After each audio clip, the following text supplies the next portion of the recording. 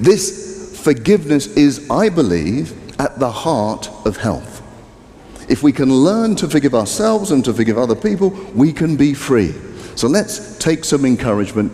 And the number one thing is that God sees when we've been mistreated and He will restore.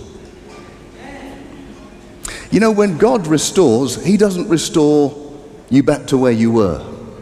When He restores, He takes you to a better place than you were in the past. You look in the Old Testament, if somebody stole an ox from you, they couldn't just give you back an ox.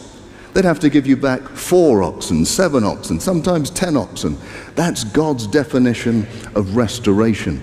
So when we're being mistreated and we want to be bitter towards that person, we have to remember that God will restore.